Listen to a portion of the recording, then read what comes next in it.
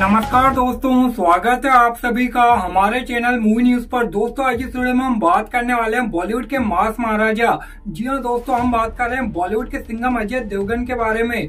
Final इनकी film मैदान का इंतज़ार काफ़ी जल्दी खत्म होने वाला है। जी हाँ दोस्तों, लगभग 28 दिनों के इंतज़ार के बाद ये फ़िल्म हमें 9 अप्रैल 2024 के दिन ईद के मौके पर सिनेमाघरों में देखने को मिलने वाली लेकिन दोस्तों, फाइनली फ़िल्म ने रिलीज़ के लगभग अट्ठाईस दिन पहले ही।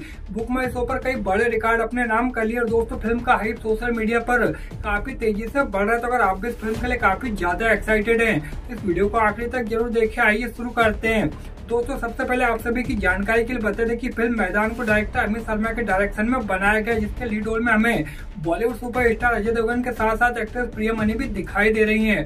और दोस्तों, इनके अलावा भी कई बेहतरीन कलाकार हमें इस फ़िल्म में दिखाई देने वाले हैं। और जैसा कि आप सभी जानते होंगे कि फ़िल्म के ट्रेलर को काफ़ी ज़्यादा पसंद किया गया। जी हाँ दोस्तों, जिसने भी फ़िल्म के ट्रेलर को देखा हर कोई इमोशनल हो गया और ऐसे में अंदाज़ा लगाया जा रहा है कि फ़िल्म अपने पहले दिन काफ़ी शानदार ओपनिंग ले सकती है। दोस्तों अगर बात करें फ़िल्म के बुक माई शो इंटरेस्ट के बारे में तो रिलीज़ के लगभग 28 दिन पहले ही फ़िल्म को बुक माई शो पे लगभग तैतीस हज़ार नौ सौ इंटरेस्ट मिल चुके हैं, जो कि किसी भी फ़िल्म के लिए काफ़ी ज़्यादा बड़ी बात होती है।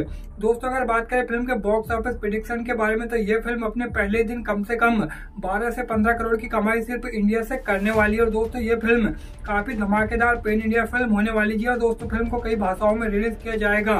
और फ़िल्म का हिंदी के साथ साथ बाकी सभी भाषाओं में काफ़ी अच्छा क्रेज देखा जा रहा है। तो दोस्तों, आप सभी अजय देवगन की इस फ़िल्म को देखने के लिए कितना एक्साइटेड है? आप सभी की राय में कमेंट करके ज़रूर बताइए।